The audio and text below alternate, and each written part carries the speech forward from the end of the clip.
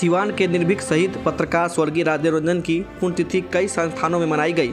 सिवान शहर के पत्रकार भवन स्थित श्रमजीवी पत्रकार यूनियन के कार्यालय में पत्रकार शहीद पत्रकार राधे रंजन स्मृति सभागार में युवा पत्रकारों की टीम राधा चित्रकला संस्थान में चित्रकारों और सोसाइटी हेल्प ग्रुप के कार्यालय पर युवा समाज सेवियों के द्वारा पुण्यतिथि मनाई गई।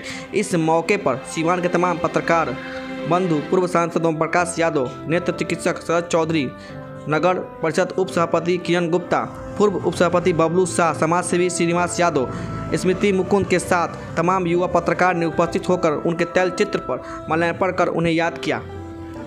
वहीं सभागार में राधो रंजन अमर रहे के नारे भी लगाए गए। गौरतलब है कि मई 2016 में सिवान में सरेआम हिंदी अखबार के पत्रकार राधो रंजन की गोली मारकर हत्या कर दी गई थी। आज करीब सात साल बीत जाने के बाद भी उनका परिवार इंसाफ के लिए खड़ा है। तेरह मई 2016 को सिवान रेलवे स्टेशन के समीप 45 साल के पत्रकार राधे रंजन की गोली मारकर हत्या कर दी गई थी।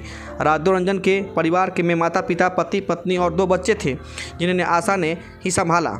जब राधे रंजन की हत्या हुई थी, उस समय आशा रंजन ने हिम्मत दिखाते हुए दूसरे दिन ही सिवान के चार बार सांसद रहे राष्ट्रीय जनता दल के राजद के नेता और बाहुबली के रुतबा रखने वाले सहाउद्दीन और अन्य के खिलाफ स्थानीय थाने में शिकायत दर्ज कराई थी। बता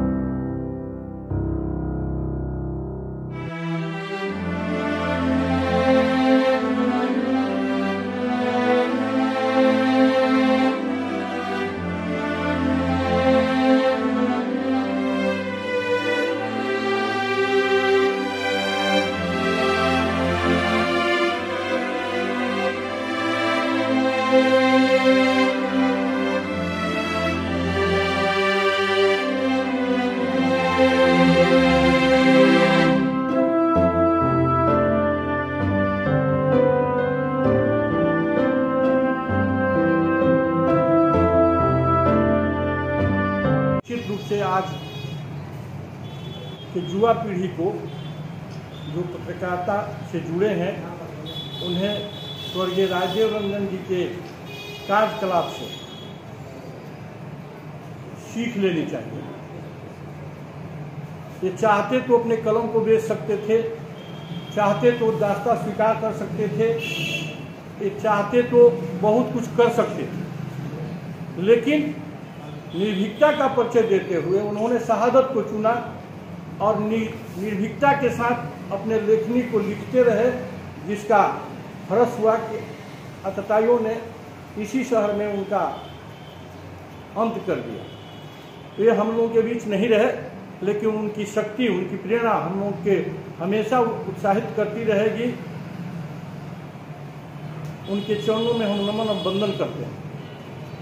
अगले साल हमने कहा था कि कुछ इष्ट मित्रों से सहयोग लेकर के जो अपने सांसद विकास मत से हमने उनके स्मृति में एक हॉल बनाया है, उसमें एक मूर्ति लगे। लेकिन संकोचवश हमने कोई ऐसी टीम भैया, हमने नहीं कोई ऐसा मौखिक रूप से हम लोग कह दिए, लेकिन फिर बाद में सोचे कि अगर हम लोग कुछ कलेक्शन कुछ करते हैं तो बाज़ार भाव में उसका महत्व बहुत खराब जाएगा। लोग कहेंगे कि लूट रहे हैं सब। राजदेव जी का नाम बदनाम हो जाता। इसलिए हमने उसको पोस्टपोन कर दिया और आप लोगों को विश्वास दिलाते हैं कि अगला पुण्यतिथि उनके चित्र पर, बनारस हम जाएँगे और उनके आदमचंद प्रतिमा का ऑर्डर देकर, एक फ़ोटो मैडम से लेकर के हम जा करके और अपने सौजन्य से लगाने का काम करेंगे। आज हम लोग सभी आदमी पत्रकार भवन में उपस्थित है। आज शहीद पत्रकार बड़े भाई समान स्वर्गीय राजदेव रंजन जी का आज आज ही के दिन उनकी हत्या कर दी गई। सच्चाई के रास्ते पर चलते थे, इसीलिए इनकी हत्या कर दी गई। जो भी बात कहते थे या लिखते थे, वो सच लिखते थे, झुकते नहीं थे इनके न्याय के लिए। और इनकी मूर्ति की बात है तो हम लोग सभी आदमी मिलकर, अगर हो अगर इसके लिए हमको नगर परिषद में आवाज़ उठाना पड़े कि यहाँ इनकी मूर्ति लगे, कहीं चौक चौराहे पर तो इसके लिए मैं खुद खड़ी रहूँगी और सभी पार्षद लोग साथ अगर मिल जाए, तैयार हो जाए तो इसके लिए मैं तत्पर खड़ी रहूँगी इनकी मूर्ति लगाने के लिए। पूर्व इनकी निर्मम हत्या कर दी गई थी। और इन्हीं के याद में आज हम लोग इस पुष्पांजलि सभा में उपस्थित हुए हैं लोग। राजदेव जी, एक लीडर पत्रकार थे और उन्होंने पत्रकार जगत में बहुत बड़ा नाम कमाया है। वो हमेशा सत्य को लिखने से कभी झुके नहीं हैं और हमेशा सत्य का साथ दिए हैं। और कहा जाता है कि सत्य थोड़ा देर के लिए चुप हो जाता है लेकिन झुकता नहीं है। और सत्य को हमेशा दिख, दिखाते हुए राजदेव बाबू की सत्य के कारण ही उनकी हत्या हो गई। लेकिन फिर भी सत्य अभी झुका नहीं है। हमेशा आज उन्हीं के याद में हम इस पत्रकार भवन में इनके तैल चित्र पर पुष्प अर्पित करके इनको याद कर रहे हैं। और मैं प्रशासन से और सिवान की जनता से और सारे प्रतिनिधि से, सांसद महोदय से, विधायक महोदय से, स्पीकर महोदय से मांग करूँगा कि इन, इनके एक मूर्ति को कहीं शहर में स्थापित किया जाए, ताकि इनको हमेशा हमारे आने वाली पीढ़ी याद करते रहें और जो नए नए पत्रकार हैं, जो युवा साथी हैं, वो भी इनके आदर्शों को जाने और माने और इनके आदर्शों पर चले। स्वर्गीय राजदेव रंजन जी की पुण्यतिथि सभागार में आने का मौका मिला, ये मेरे लिए बहुत ही सौभाग्य की बात है। और यहाँ आके लगा कि अभी उनके विचार ज़िंदा हैं। जिस तरीके से लोगों ने उत्साहपूर्वक उनकी पुण्यतिथि को मनाया उससे यही लगा कि विचार ज़िंदा और लोगों के विचार, भले लोग ना रहें लेकिन विचारों का ज़िंदा रहना बहुत ज़रूरी है। और मुझे उम्मीद है कि आगे भी इस तरीके से वो बहुत ही बेबाक और पत्रकार थे और उनकी लीडरशिप क्वालिटी बहुत अच्छी थी। और हम चाहते हैं कि जो भी पत्रकार बंधु यहाँ आए हैं, वो उनके विचारों को ज़िंदा रखें और आगे भी बहुत ही भव्य तरीके से ये पुण्यतिथि मनाने का और उनके जन्मोत्सव का कार्यक्रम करें। धन्यवाद। इनके विचारों को ज़िंदा रखने के लिए पत्रकार की जो टीम मांग। मूर्ति को कहीं स्थापित किया जाए शहर के किसी उसमें आपका क्या रोल रहेगा जी बिल्कुल होना चाहिए। किसी के लिए भी अ, कोई भी अ, मतलब बड़ा आदमी है और जो कि इतना बेबाक था और जिसके लिए हत्या कर दी गई सबसे बड़ी बात ये है। उसकी, उसके विचारों को ज़िंदा रखने के लिए बहुत ही ज़रूरी चीज़ है।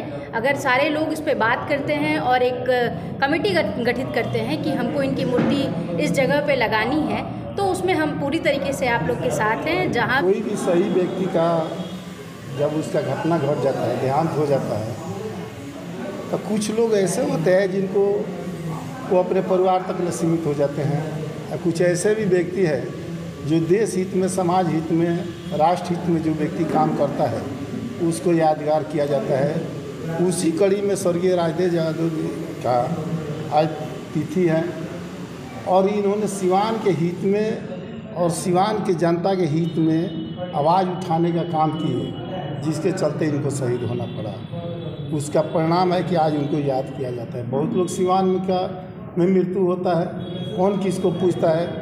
बाकी जो व्यक्ति सही काम करता है, उसी को याद किया जाता है। निश्चित तौर पर राजदेव जी को जब से मैं राजनीति करता हूँ, तब से इनको जानता हूँ। जब ये मैरवा में काम करते थे, जब इनके पास एक सी डी हंड्रेड मोटरसाइकिल थी, साइकिल से जाते थे, उस समय से हम देखते थे, जब हम पढ़ते थे। इनके गुरु रविंदर जी थे, उनके संग घटना घटा तब भी साथ में थे, और इनके साथ भी घटना घटा। तब इनके साथ में थे। और इनके परिवार के और इनके विचारधारा में निश्चित तौर पर हम हमेशा तत्पर रहता हूँ, मदद करने का काम करता हूँ। और आज के समय में भी, आज के परिवेश में मैं आपको बता देना चाहता हूँ कि इनके पुण्यतिथियों या किसी भी तरह का कार्यक्रम आप कीजिए, उसमें जहाँ सहयोग और मदद की ज़रूरत है श्रीनिवास यादव देने के लिए तैयार है। हम तो चाहेंगे कि जिला पदाधिकारी से मांग करते हैं कि इनको एक जगह अलॉट कर दिया जाए कि ताकि इनका मूर्ति लगा दिया जाए। और मूर्ति में जितना लगे उसमें 25 परसेंट हम अपना अपने तरफ़ से इनको देने का काम करें बहुत बहुत धन्यवाद।